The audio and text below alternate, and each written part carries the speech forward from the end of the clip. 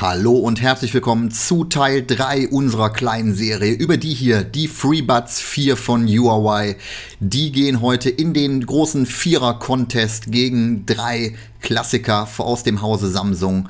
Und welche das sind, das sage ich euch jetzt nochmal. Einmal die normalen Buds klassischer Natur ohne Zusatz, die Buds Plus und die Samsung Galaxy Buds Live aus dem letzten Jahr. Die Buds Pro habe ich nicht mehr, deswegen können die nicht mehr mit antreten, aber dafür jetzt, wie gesagt, die Free Buds und die sollen jetzt im Vergleich mal antreten.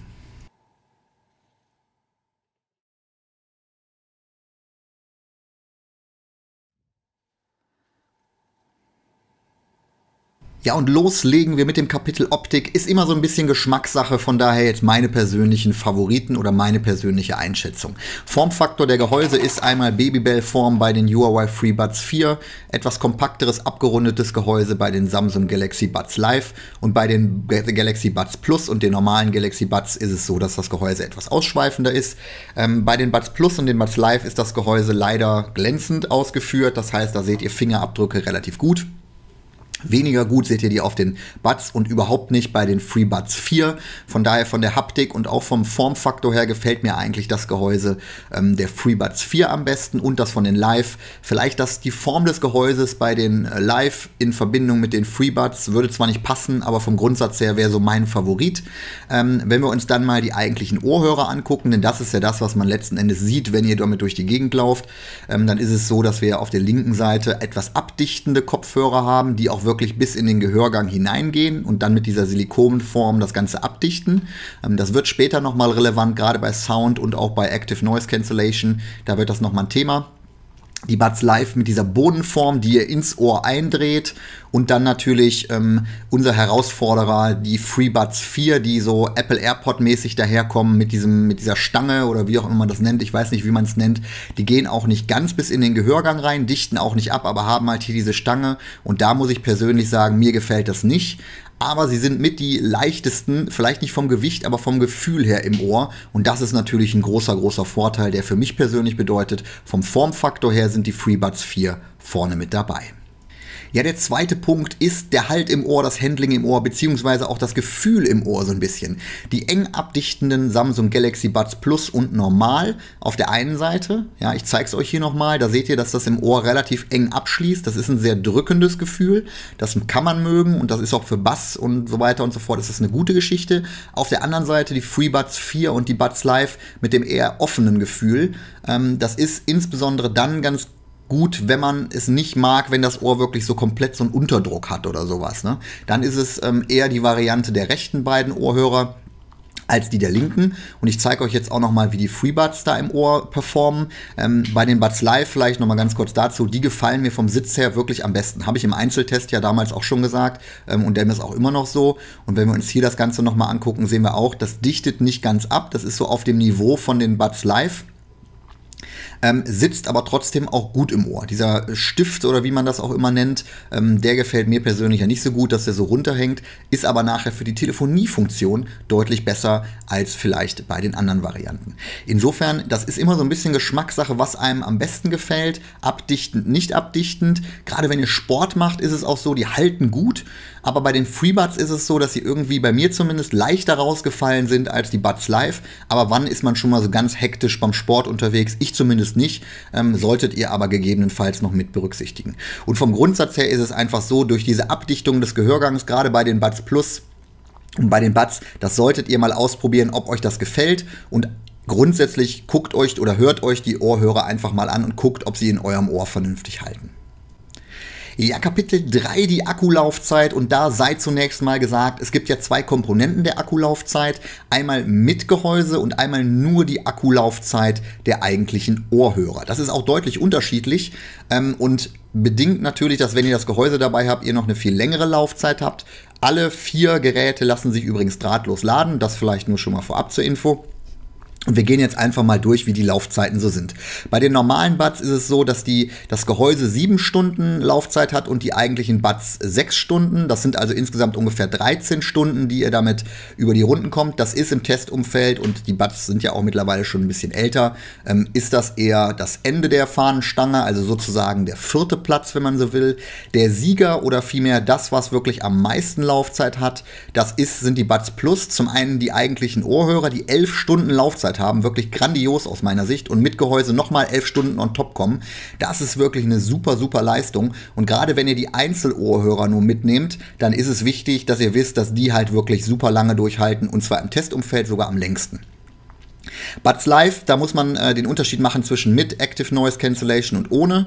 Ähm, grundsätzlich erstmal 5,5 Stunden meine Testerfahrung mit ANC ohne ungefähr 8,5 Stunden und das Case dann nochmal 18 Stunden. Also auch wirklich eine sehr, sehr lange Zeit und von der Gesamtlaufzeit her sogar der Testsieger.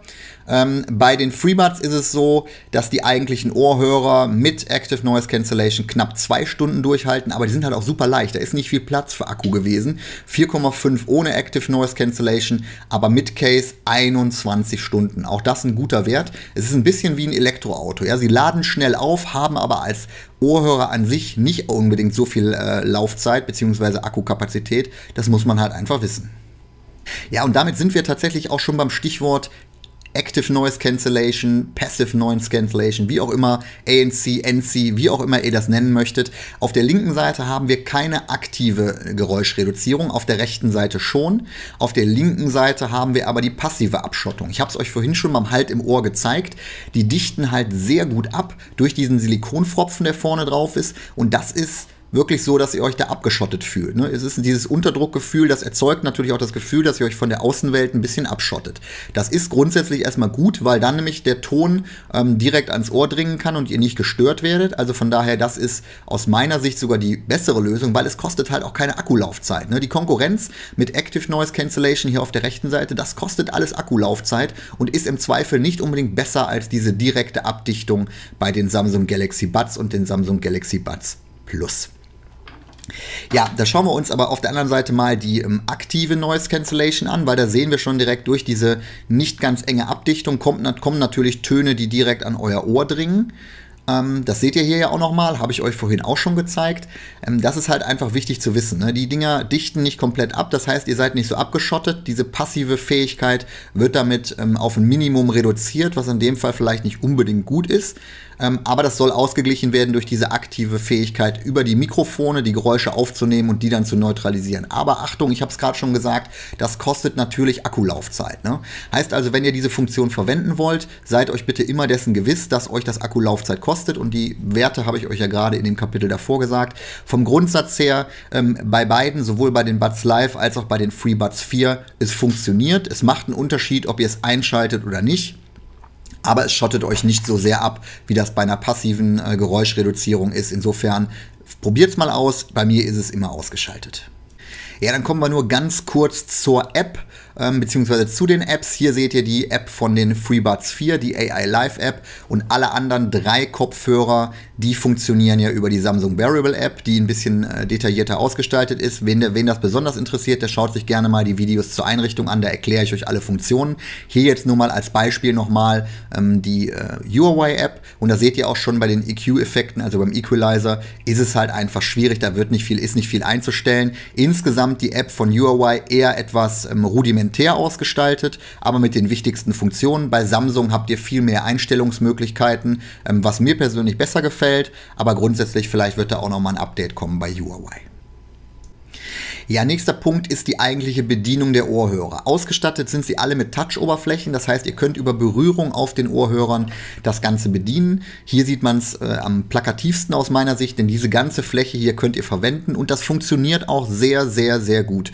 Bei den FreeBuds 4, für mich der Sieger hier im Testumfeld, ähm, hat das die Bedienung bei mir ohne weiteres funktioniert. Das hat von Anfang an funktioniert, ganz hervorragend, ohne Fehl und Tadel und sehr gut umgesetzt. Bei den Samsung-Exemplaren ist es unterschiedlich Bei den Buds Live muss man sagen, da funktioniert es ganz gut ähm, über diese Touch-Oberfläche hier außen. Das funktioniert zumindest mit meinen Fingern auch bei Sport und bei Schweiß ganz gut.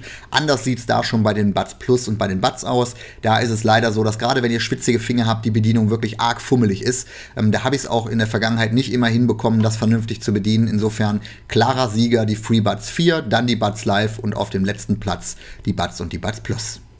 So, im nächsten Kapitel schauen wir uns mal die Telefoniefunktion an, denn viele von euch benutzen ja die Ohrhörer dann letzten Endes auch, um damit zu telefonieren, ähm, über die kleinen Mikrofone, die ihr an jedem von diesen einzelnen Ohrhörern habt. Und die Qualität der Mikrofone, die ist durchaus unterschiedlich. Ähm, in der Vergangenheit war es so, dass äh, Samsung da, glaube ich, nicht so eine ganz hohe Priorität drauf gesetzt hat. Insofern ist das bei den Samsung-Ohrhörern immer so ein bisschen schwierig gewesen mit Telefonie. Bei den FreeBuds 4, und ich versuche euch jetzt hier mal das Mikrofon zu zeigen, das ist natürlich auch am nächsten Westen an eurem Mund sozusagen, ähm, ist es wirklich so, dass die FreeBuds 4 mit sehr, sehr guten Mikrofonen daherkommen, eine leichte Windanfälligkeit haben, nicht so stark wie bei den Samsung. Insofern klarer Testsieger, ohne es vorwegzunehmen, in dem Fall hier die FreeBuds 4. Ähm, bei den Samsung Buds Live und auch bei den Buds Plus und bei den normalen Buds ist es so, dass die Buds Live bessere äh, Mikrofone haben und bei den Buds und den Buds Plus ist es eher schwach ausgeprägt. Ja, das vielleicht wichtigste Kriterium für die meisten von euch, der Sound und der Klang, der nachher in den Ohren ankommt. Es ist sehr unterschiedlich hier im Testumfeld und ich komme wieder zurück auf das, was ich am Anfang schon gesagt habe. Die abdichtende Funktion, die macht einfach hier einen Unterschied aus. Gerade wenn ihr basslastige Musik mögt und das direkt auch im Ohr spüren wollt, dann sind diese beiden Varianten hier sicherlich am besten geeignet. Von der allgemeinen Klangqualität, all in all, ist es aber so, dass die beiden von der Qualität einfach ein bisschen abfallen. Sie sind auch schon ein bisschen älter, es hat sich seitdem viel getan. Wenn ihr aber abgedichtet haben möchtet und den Bass sehr drückend haben möchtet, sind es natürlich immer noch die richtigen Kopfhörer, aber von der Qualität und auch von der Harmonie und so weiter und so fort ist es einfach nochmal ein Unterschied zu den beiden neueren. Gerade die Buds Plus, äh, sorry, die Buds Live und die FreeBuds, da ist es einfach deutlich besser. Ähm, die Live sind wirklich sehr, sehr gut, erzeugen deutlich weniger Bassdruck als bei den anderen, weil einfach die Abschottung fehlt, aber die sind über alle Lautstärkestufen hinweg, egal ob hoch oder leise, bieten die immer ein schönes Klangbild. Das ist wirklich gut und zwar egal, welche Musik ihr hört. Das ist all in all aus meiner Sicht das beste Klangbild. Die FreeBuds 4 die sind auch sehr gut, aber im Wesentlichen im mittleren Lautstärkebereich. Wenn ihr wenig, äh, wenn ihr wenig Lautstärke oder sehr viel Lautstärke nehmt, dann ist das Ganze wieder etwas unharmonisch, dann kommt das mit den Höhen nicht so ganz hin und so weiter und so fort. Also im mittleren Bereich fühlen sie sich sehr wohl, ähm, dichten natürlich auch nicht ab, analog der Buds Live. Das heißt, der Bass kommt nicht ganz so extrem. Der Bass ist ein bisschen mehr als aus meiner Sicht als bei den Buds Live, ähm, aber nicht so drückend wie bei den Plus und den normalen Buds. Also all in all für mich der Soundsieger sind die Buds Live und danach die FreeBuds 4. So, und damit sind wir auch schon am Ende dieses kleinen Vergleichstests angekommen und ich sage euch jetzt mal kurz, was ich glaube, welcher Kopfhörer für wen am geeignetsten ist. Zunächst mal die Buds in normaler Ausführung, mittlerweile schon ein paar Jahre alt, ähm, glaube ich, neu auch kaum noch zu kaufen oder gar nicht mehr zu kaufen. Ähm, da würde ich euch auch nicht mehr empfehlen zuzuschlagen. Die sind einfach mittlerweile nicht mehr von allen Funktionen, als auch so von Akku, von Sound und so weiter und so fort, nicht mehr konkurrenzfähig. Es ist einfach schon ein veraltetes Produkt. Da würde ich euch ganz klar sagen, lasst die Finger davon. Dann kommen wir zu den Buds Plus, die für mich immer noch sehr, sehr gute Kopfhörer sind und vor allen Dingen, und das kommt dazu, preislich natürlich einer der Favoriten sind. Die dichten gut ab. Das ist für mich äh, ein Kriterium, was ich manchmal gut finde, nicht immer gut finde. Vom Sound her sind sie okay, nicht gut, ähm, aber preislich halt einfach der Kracher und ich benutze sie wirklich noch immer regelmäßig neben den Buds Live. Also da kann ich euch nur sagen, wenn ihr die günstig schießen könnt, es sind super Kopfhörer. Mein zweiter Platz sind die FreeBuds 4. Die sind ähm, sehr, sehr, sehr leicht, was wirklich super ist. Die, die merkt ihr wirklich kaum im Ohr, was ich total toll finde. F völlig faszinierend für mich. Optisch gefallen sie mir nicht ganz so gut. Die Touch-Oberfläche ist ein großes, großes Highlight. Das funktioniert wirklich super. Ähm, und ob ihr nachher diese Form der Apple AirPods mögt oder nicht, lasse ich mal dahingestellt sein. Mein Platz 2 in diesem Testumfeld. Und der Test Testsieger und mein aktueller Daily Driver, das sind die Samsung Galaxy Buds Live. Ähm, es ist der ausgeglichenste Kopfhörer. Ihr bekommt die schon für unter 100 Euro, was wirklich auch den Preis absolut erträglich macht. Und dafür ist es ein sehr, sehr, sehr guter Kopfhörer.